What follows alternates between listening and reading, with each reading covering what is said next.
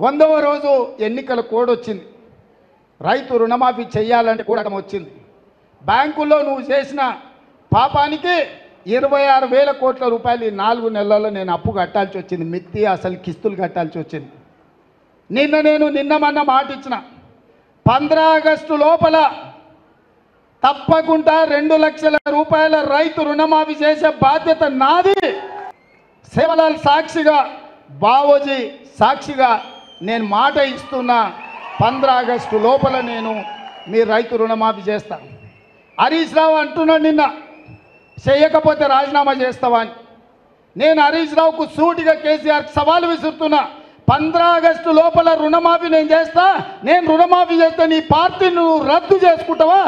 సవాళ్ళు స్వీకరించు. పంద్రా ఆగస్టు లోపల రెండు లక్షల రుణమాఫీ చేసి చూపిస్తా. అక్కడి సూర్యుడు ఇక్కడ మొలిచిన భూమి ఆకాశాలు తలకిందులైనా కేసీఆర్ ఫామ్ హౌస్లో ఊరేసుకొని సచ్చినా పంద్రా ఆగస్టు లోపల రైతులకు రెండు లక్షల రుణమాఫీ చేస్తా. చేసిన మరుక్షణమే నీ పార్టీని నువ్వు రద్దు చేసుకుంటావా? నా సవాల్ను స్వీకరించు హరీష్ రావు. పోయి నీ మామని అడుగు. నేను మాటిస్తే ఎట్లుంటానో తెలుస్తుంది. నీ మామకు తెలుసు నీకంటే ఎక్కువ. రేవంత్ రెడ్డికి మొన్న నేను ఛాలెంజ్ చేసిన. ఏమన్నాడు? నేను ఆగస్టు పదిహేను తారీఖులో గల రుణమాఫీ చేస్తా అన్నాడు. రేపు మళ్ళా మెదక్ నుంచి రేవంత్ రెడ్డికి ఛాలెంజ్ చేస్తున్నా. రేపు పొద్దున పది గంటలకు అసెంబ్లీ ముందు అమరవీరుల స్తూపం దగ్గరికి నేను వస్తా ఉన్నా నా రాజీనామా లేఖతో నువ్వు వస్తావా?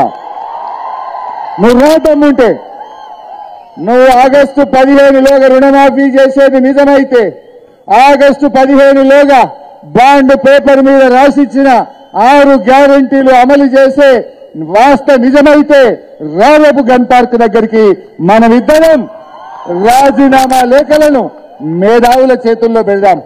మేధావుల చేతుల్లో పెడదాం.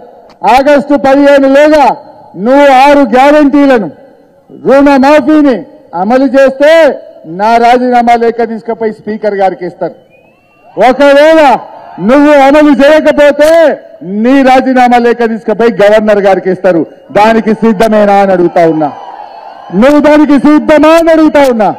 దమ్ముంటే రా.